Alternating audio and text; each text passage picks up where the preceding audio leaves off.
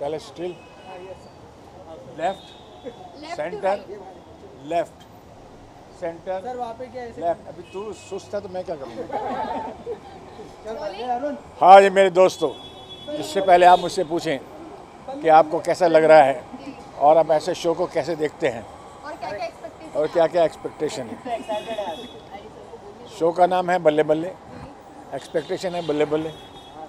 और होगा भी बल्ले बल्ले इसलिए क्योंकि विश क्राफ्ट कर रहे हैं और विराफ कर रहे हैं। और ये लोग जो हैं एक्सपर्ट्स हैं। और मुझे खुशी है कि इस तरह का एक रेवोल्यूशन आ रहा है हिंदुस्तान में, जहाँ कर कि थिएटर भी एक म्यूजिकल शो करेंगे।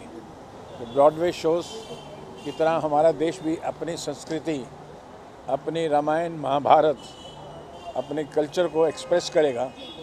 Through Broadway shows theatre revolution से। हम फ़िल्में तो बनाते हैं बड़ी बड़ी लेकिन वो पर्दे पे होती हैं।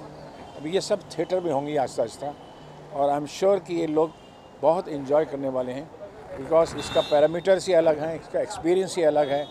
यहाँ पर एक्टर्स डायरेक्ट गाते हैं you know direct live connection है लाइव सिंगिंग है, कोई प्लेबैक सिंगिंग नहीं कि वहाँ से गा रहा है, कोई वहाँ से गा रहा है।